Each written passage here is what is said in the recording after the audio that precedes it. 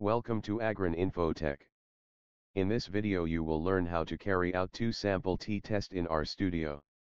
The video will include Brief description of two sample t-test Visualizing the dataset Performing two sample t-test in RStudio If a data set is obtained from two samples and population variance is not known. For such two sample means, the t-test is more often used. T-test is usually applied for a sample size lower than 30. Let's see the example data set. A researcher grows maize plants in two separate fields. As the plants are ready to be harvested, he is interested to see the difference in cob length. He takes a random sample of six plants from both fields. He measured the cob length. The object x1 shows the cob length of cobs measured from field 1. The object x2 shows the cob length recorded from second field. First formulate the hypothesis. The null hypothesis is that there is no difference in mean cob length of both fields. Or, the difference in the mean cob length of both the fields is equal to zero. The alternate hypothesis is opposite to the null hypothesis. It means the difference in the mean cob length of both fields is not equal to zero. Let's test this hypothesis at 5% confidence level. Create the data frame using data.frame function. In field argument enter group variable names. Set the value for each argument to 6 which represent the sample size. For cob length provide the x1 and x2 objects as created earlier. Print function will show the data set. Use structure function to see the variable structure. To access components of data matrix use attach function. Use summary function to produce summary statistics of the data object. You can also get the summary statistics for each field. In summary function specify field 1 and field 2 for cob length summary statistics. It's good practice to visualize data set before applying test statistics. Use query of graphical parameters to set S4 type of plot argument. This will change the shape of the plot in a square.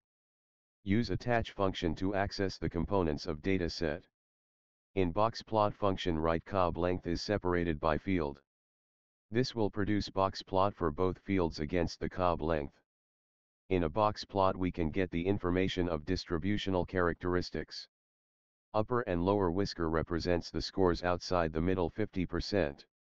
Upper and lower quartiles. 75% of the scores fall below the upper quartile. 25% of the scores fall below the lower quartile. The middle box represents the middle 50% of the score. This range of scores from lower to upper quartile is referred to as interquartile range. The median or middle quartile represent the midpoint of the data. You can add color, main title, X, and Y labels to the box plot. For this, use color, main, X and Y lab argument.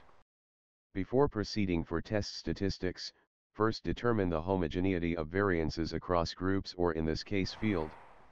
To use Levene test load the companion to applied research package using require function.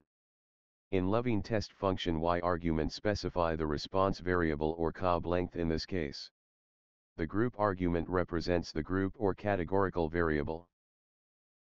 The probability value shows there is no significant difference in variances of first and second field. It means variances are homogeneous. You can also use f-test to determine homogeneity in variances. In variance.test function write cob length separated by group variable or field. In this test you can get f statistic, probability value and 95% confidence. Again the results show that the variances are homogeneous.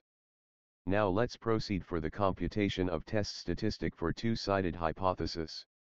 Use t.test function to compute this value. Write response variable separated by the group variable. Write two-sided for alternative hypothesis. Set the value of mu to 0.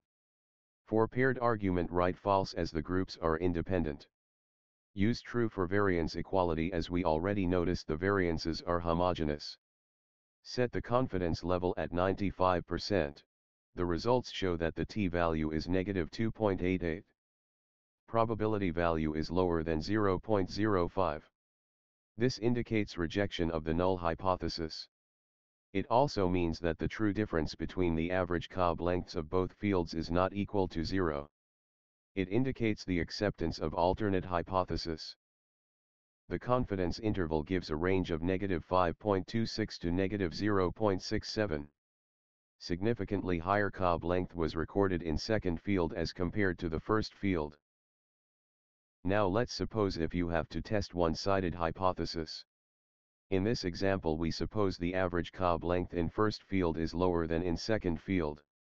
Or, this also means the difference in average cob length of both fields is less than zero. Then alternate hypothesis will be, the difference in mean cob length of both fields is greater than zero. Now we shall test this hypothesis at 95% confidence interval. Use the same function. In alternative argument write greater to specify the alternate hypothesis. The t-test value remains the same. Probability value is higher than 0.05.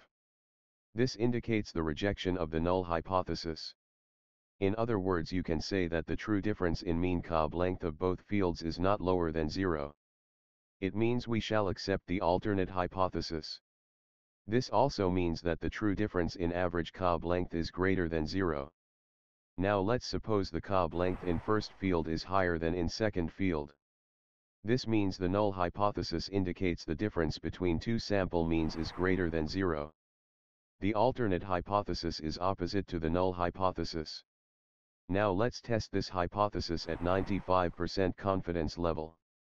Again using the same function just write less in alternate argument the results indicate that t-value remains the same.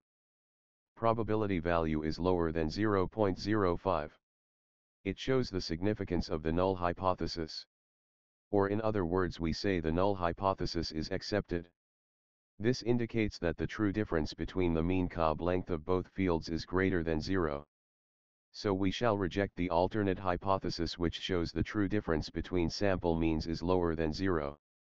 I hope this video will help you to understand how to carry out two sample t-test using R program. Please comment below if you have any questions.